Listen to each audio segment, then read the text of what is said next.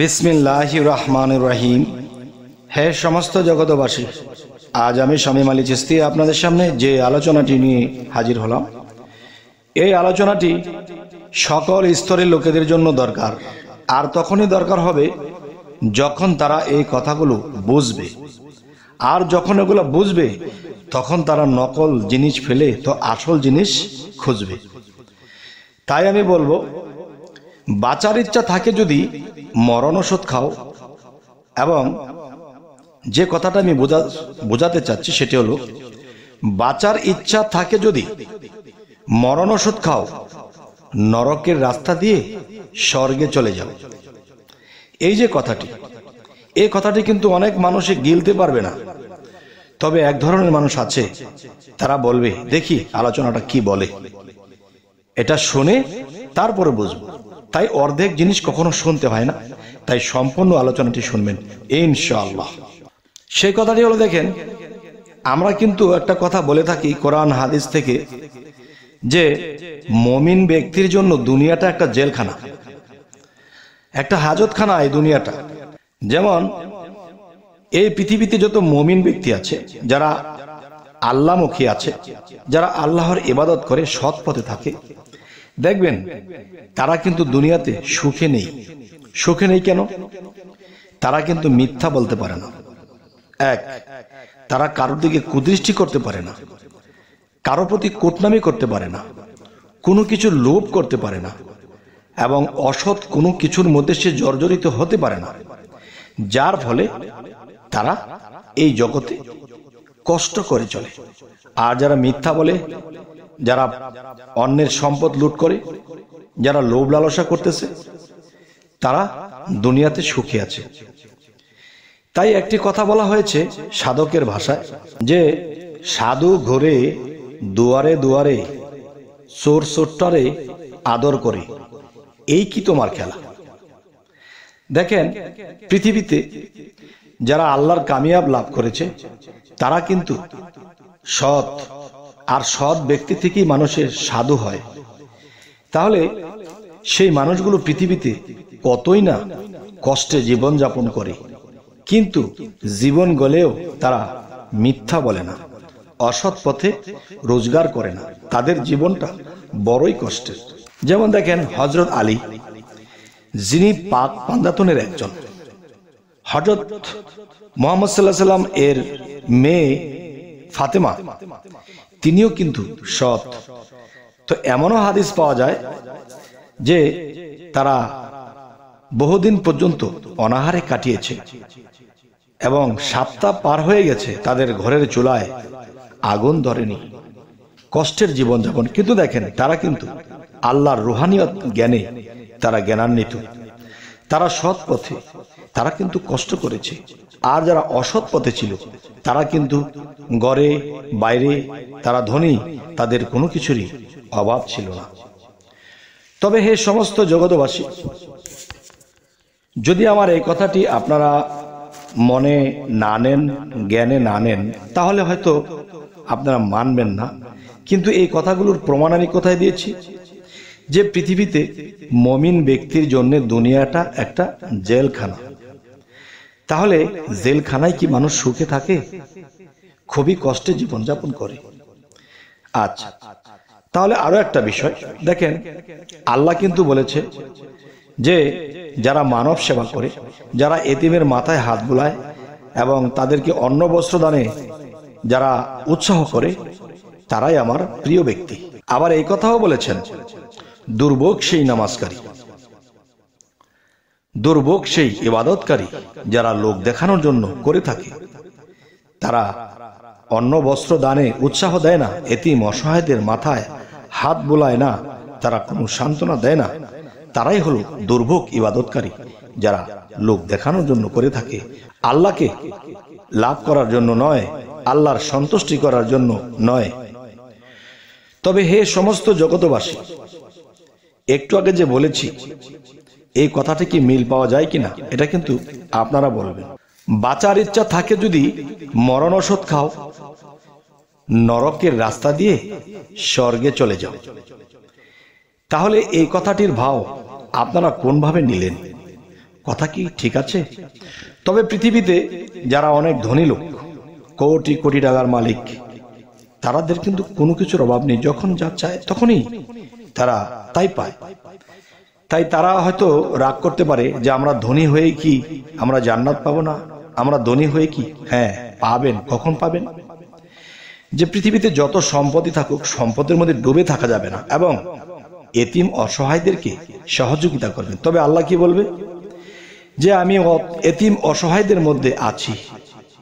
যখন সে অসহায়কে আদর করল, ভালোবাসা দিল, একটা জামা পরিয়ে দিল, একটু ভাত খাইয়ে দিল তখন সেই খাবার যেন আমি আল্লাহ খেয়েছি। আমি যেন সেই খাবারের তৃপ্তি পেয়েছি। তবে হে সমস্ত জগতবাসী আমরা এই পৃথিবীতে এসেছি। চিরকালের জন্য এসিনি আমাদের চলে যেতে হবে। তাই বলব কি, যতটুকু সম্ভব যে মায়ের ঘরে, বাবার ঘরে জন্ম নিয়েছি, তাদের সেবা থেকে শুরু করে সকল স্তরের মানুষের প্রতি সম্মান রেখে আমরা যদি সেই মানব সেবাটুকু করে যেতে পারি তাহলে আমাদের এই জীবন ধন্য। তবে হ্যাঁ আপনাদের কাছে আমি আরও তিন বছর আগেও দোয়া চেয়েছিলাম এখনও চাই। সেটা কি? আমি যেন একটা বৃদ্ধাশ্রম করতে পারি।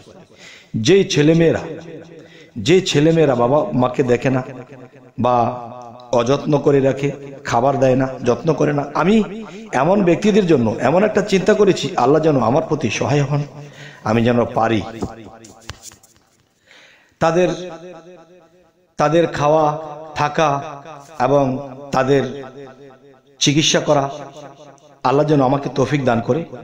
আমি সেই দরবারের পাশাপাশি আমি যেন এই মানব সেবাটুকু করে যেতে পারি। যদি জীবন ভর আল্লাহর ইবাদত করেও থাকি, আর আল্লাহর যদি কোনো ইবাদত ভালো নাও লাগে, আর যদি মানব সেবার যেই বিষয়টা, এটা যদি আল্লাহর একবার ভালো লেগে যায়, তাহলে আমার জীবন ধন্য হয়ে যাবে। তাই সকলের কাছে আমি এই দোয়াটুকু চেয়ে নিলাম। আমি যেন বেশ কিছুদিনের ভিতরেই যেন আমি এই ব্যবস্থা করতে পারি। সমস্ত ভক্তবৃন্দ, সমস্ত ইউটিউবের ভক্তবৃন্দ, দেশে আছে, বিদেশে আছে, তারা যেন আমাকে সহযোগিতা করে, তাহলে আমি একটু তাড়াতাড়ি পারব, ইনশাল্লাহ। যেমন এর কোরআনের কিছু কিছু আয়াতের মধ্যে আল্লাহ কথা বলেছেন যে এই পৃথিবীটা একটা নাট্য মঞ্চ কীরকম? যার যেরকম অভিনয়, এরকমই তার চরিত্র, চরিত্রের মধ্যে সেটা ভেসে উঠবে। যেমন আরও বলা হয়েছে, এই পৃথিবীটা একটা পরীক্ষার মঞ্চ। যে আল্লাহ কোরআনে এটিও বলেছেন ওয়াল্লাজি হায়াতা লে আবলু ওয়াকুম আয়াকুম আহসানু আমালা ওয়া হুয়াল আজিজুল গাফুর। অর্থাৎ আমি মানুষের মৃত্যু ও জীবন সৃষ্টি করিয়াছি পরীক্ষা করার জন্য। তোমাদের মধ্যে কে কর্মে উত্তম? দানশীলে উত্তম? হৃদয়ের দিকে উত্তম? এমন ব্যক্তি আমার প্রিয়। এই পৃথিবীতে কোনো মানুষ যদি চায় যে আল্লাহর প্রিয় হবে, সে যেন মানব সেবা করে। তবে একটি কথা আছে, এমন লোক আছে, তারা বলতে পারে, আমরা এত কষ্টে চলি, এত কষ্ট করে খাই, আমাদের তো চলতে পারি না, আমি কাদেরকে দেখব? দেখেন যে একজন কোটিপতি দান করবে শত শত হাজার হাজার টাকা। আর একজন গরিব যে খুব নিম্নস্তরের কাজ করে সংসার নিয়ে চলতেই তার কষ্ট হয়, সে রাখবে কি? মুষ্টি চাইল যে মুষ্টি চাউলটি রাখবে, সেটি ভাত যখন বসাবে, এর আগে দিয়া এক মুষ্টি চাল যদি রেখে দেয় তিরিশ দিনে তিরিশ মোট হয়। আর দুবেলা হলে ষাট দিনে ষাট মোট হয়। তো এই ষাট মোট যদি আপনি রেখে দেন, তাহলে নিশ্চয়ই দেখবেন আপনার আশেপাশে কোনো ঘরের মধ্যে কেউ কাজ পায়নি। আজকে পানি খেয়ে ঘুমিয়ে আছে। আজকে তার ছেলে মেয়ে নিয়ে না খেয়ে আছে। এমন ফ্যামিলি এমন অবশ্যই আছে। যদি আপনি যে এই ষাট দিন জমা করেছেন, তাহলে নিশ্চয়ই এখানে চার পাঁচ কেজি চাল হয়ে যাবে।